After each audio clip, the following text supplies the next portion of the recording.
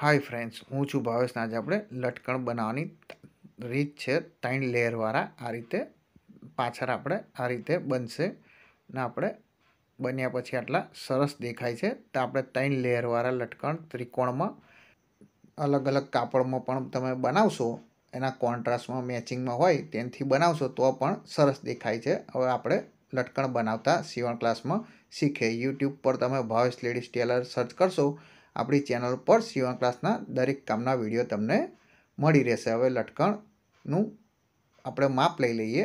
આપણે ચાર અલગ અલગ ટુકડા કટિંગ કરવાના છે. પહેલા નંબરમાં આપણે નાનો ટુકડો અઢી ઇંચનો ચોરસ રાખવાનો છે. અઢી અઢી ઇંચ રાખવાનો છે બે પા બીજો ટુકડો આપણે સાડા ત્રણ ઇંચ રાખવાનો છે. સાડા ત્રણ ઇંચનો આપણે ત્રીજો ટુકડો પાંચનો રાખવાનો છે. પાંચ ઇંચનો આ રીતે તમારે ચોરસ કટિંગ કરી લેવાના. ચોથો આપણે સાડા પાંચ ઇંચ. આ રીતે આપણે ચાર ટુકડા અલગ અલગ માપે આપણે કટિંગ કરવાના છે. ત્યાર પછી આપણે આ રીતે વારીને ડબલ કરી દેવાનું. એટલે આ તમારે આ રીતનું ત્રિકોણ પડી જાય. અહીં આગળ ઉપર આપણે મશીન મારી દેવાનું. હવે આપણે બીજા નંબરનો લઈ લઈએ ને એને બી આ રીતે આપણે ડબલમાં વારી દેવાનું છે. ત્યાર પછી આપણે તેને પણ આ રીતે મશીન મારી દેવાનું. નવા આપણે નાનો લઈ લઈએ. નાનો ટુકડો જે હોય આપણે અઢી તે લઈ લેવાનો છે ને આપણે આ રીતે ઉપર મશીન મારી દેવાનું છે. ત્યાર પછી હવે આપણે અહીં આગળ ઉપર આ રીતે સેન્ટરમાં મૂકી દેવાનો છે. કમ્પ્લીટ ખૂણો મેળવીને ત્રણે ત્રણ આપણે આ રીતે ખૂણા મેળવી દેવાના. અહીં આગળ આપણે ઉપર એકદમ ધાર ઉપર મશીન મારી દેવાનું છે. અહીં આગળ. આપણે વધારાનું જે હોય કટિંગ કરી દેવાનું. એટલે આપણે કમ્પ્લીટ ફિનિશિંગમાં કરી દેવાનું. ને હવે આપણે આનીમય લગાવવાનું છે. તે પહેલાં આપણે આ રીતે વારી દેવાનું છે. ને આપણે ઉપર આંગળી આ રીતે મારી દેવાની છે. અને ત્યાર પછી આપણે અહીં આગળ આ રીતે ક્રોસમાં માર્કિંગ કરી દેવાનું છે. માર્કિંગ થાય તે સુધી વીડિયો ઉપર નવા આવ્યા હોય તો લાઈક કરી દોજો, ચેનલ સબસ્ક્રાઈબ કરી દોજો. આ રીતે આપણે અહીં આગળ વારીને આપણે સેન્ટરનું માર્કિંગ કરી દેવાનું છે. અહીં આગળ બી આપણે સેન્ટરનું નિશાન કરી દેવાનું છે. આ રીતે પછી આપણે ઉપર મૂકી દેવાનું છે.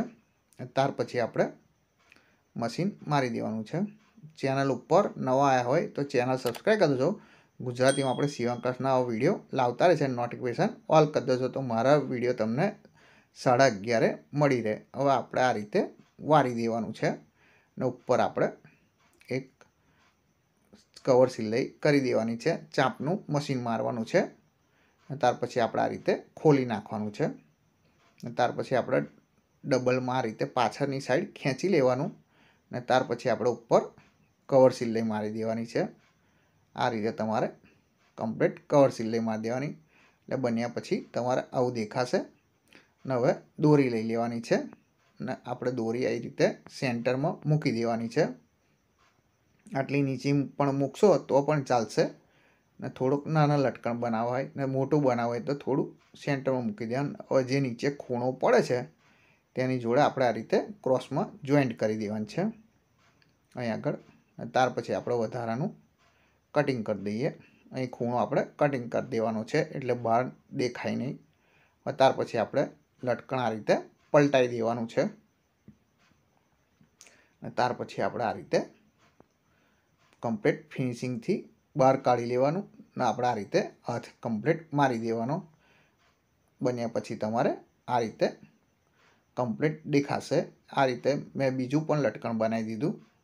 આ રીતે તમારે બન્યા પછી બે લટકણ પરફેક્ટ ને ફિનિશિંગવાળું ને ત્રણ લેયરવાળું તમારે કમ્પ્લીટ બની જાય ને તમે અલગ કાપડથી પણ બનાવશો, વચ્ચેનું કાપડ અલગ રાખવાનું, તો પણ સરસ દેખાય. હવે એક નવા વીડિયો સાથે મળીશું સાડા અગિયારે.